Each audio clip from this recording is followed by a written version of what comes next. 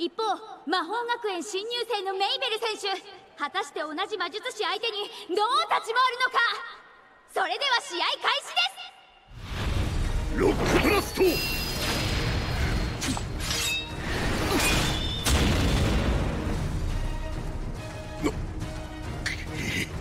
ロックブラストロックブラスト。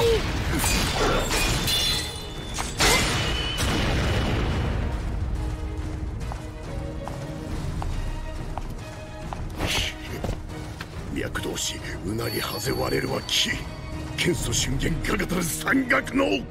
上位魔法か注意魔法では拉致が開かないと判断したんだな。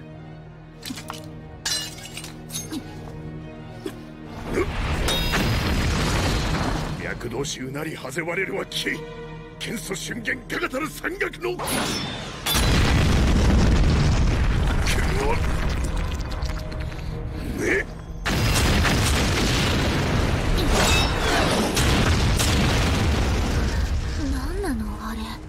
多分重力の魔法だよ。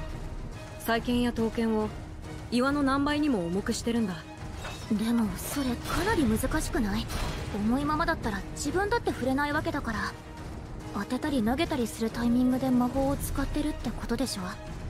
しかも栄唱もなしで。そんなこと。それも気になるけどあの剣さばき。あれはそう簡単に身につくものじゃない。